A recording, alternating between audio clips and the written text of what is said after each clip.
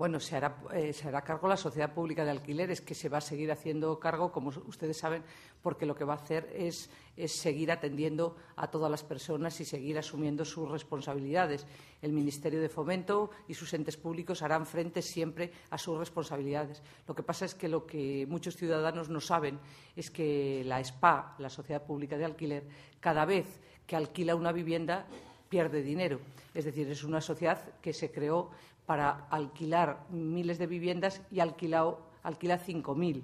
Entonces, claro, el Estado no nos podemos permitir tener una infraestructura costosa para hacer una actividad que, como saben, además la competencia la tienen las comunidades autónomas, pero les puedo anticipar que, desde luego, vamos a seguir eh, eh, trabajando y vamos a seguir haciendo posible, como no, que, que, SPA funcione en tanto en cuanto y luego se, se extinguirá. Pero las responsabilidades de SPA, desde luego, son del Ministerio de Fomento y las asumimos plenamente.